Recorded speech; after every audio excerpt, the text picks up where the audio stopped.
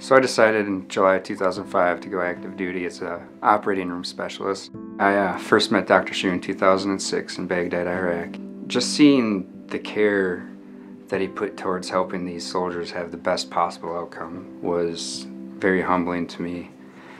And later down the road, I would get that experience for him to show the care he had when I ended up on his OR table.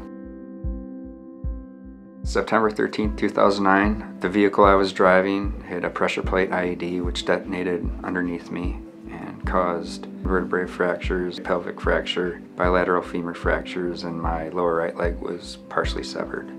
His right leg had essentially a near amputation.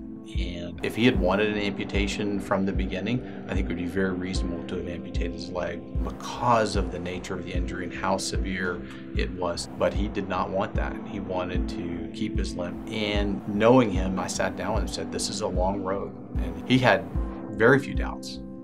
Three years later, finally, I'm able to walk.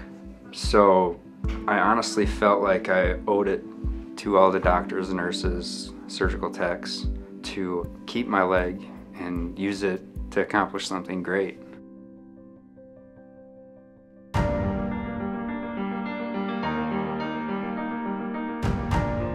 I know I want to do the seven summits and I know I want to do more mountains after that.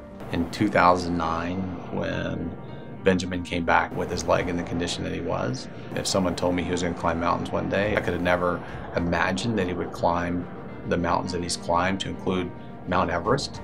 I climbed Mount Aconcagua in Argentina from December 29th until January 14th officially. Saying I've done Everest, you expect everything to be easy after that, but I really underestimated this mountain. It really took a lot for me to get to the summit, but it was worth it. Here's someone that has undergone multiple limb salvage surgeries. His entire hind foot is fused, and he's able to accomplish this.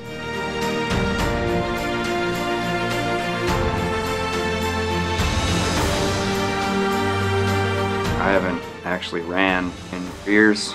Things that we almost take for granted in our lives are challenges for our civilian trauma patients or people with foot and ankle fusions or other types of nerve disabilities or muscle disorders.